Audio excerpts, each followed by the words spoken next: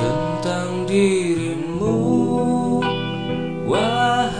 sahabat sejak ditinggal kekasih hati terpuruk di kegelapan sudut hatimu sekian lama.